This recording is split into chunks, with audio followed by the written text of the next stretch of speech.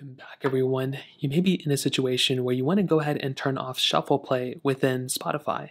Now, to do this, it's actually very, very easy. As you can see right here, the way my playlist or my like songs goes is I have it going from the Heart Part 5 from Kendrick to the Knowing by the Weeknd to Out of Time to Extravagant, whatever, right? So theoretically, it should go in this order, or I would want it to go in this order. If I go and click on the song, you can see that it does not go to the knowing. It goes to Chicago Freestyle, then it goes to Praise the Lord, then it goes to Escape from LA. So obviously it's not in the right order. Now if we bring it back to the Heart Part 5, the way to actually turn off shuffle play is to look at the bottom left, which is right here. You can see right next to the back arrow, there's this little shuffling icon. It's like two arrows kind of interchanging.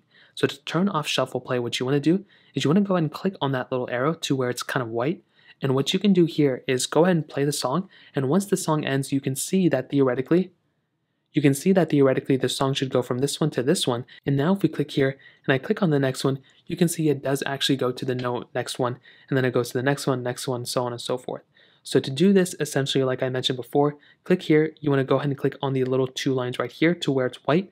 And then that'll go and turn off shuffle play. If you want to turn it back on, click here and you can pretty much turn it on that way. So that is pretty much the process. If you guys have any other questions or anything, let me know in the comment section below. Hit the like button, that would mean so much, but definitely hit that subscribe button. More importantly than everything else, I love every single one of you guys. Hopefully I'll catch you guys in the next video. Peace out till then.